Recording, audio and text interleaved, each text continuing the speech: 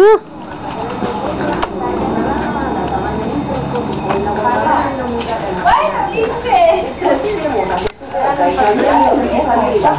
Abrimos, abrimos. Pero me gusta. Si hubiese tenido de le.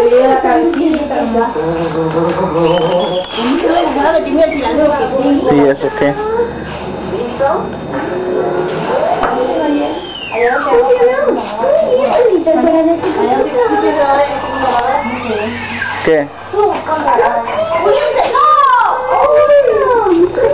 Para que vean cómo.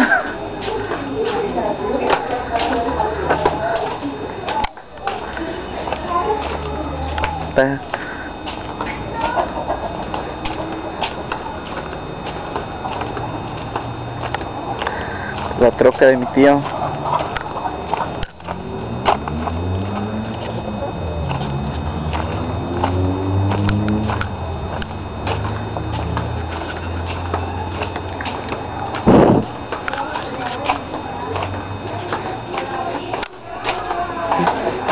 Tía Mierda no está, ¿verdad?